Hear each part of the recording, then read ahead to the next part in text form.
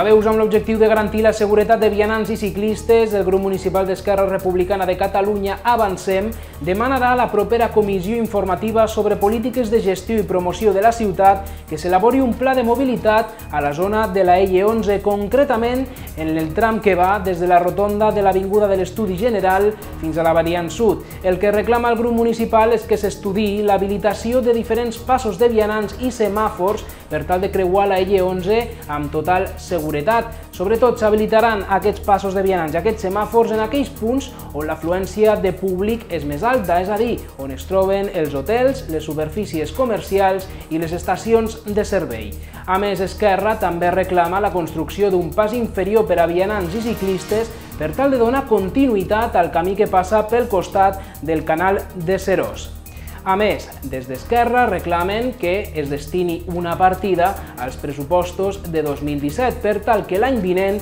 es puguin endegar aquestes millores.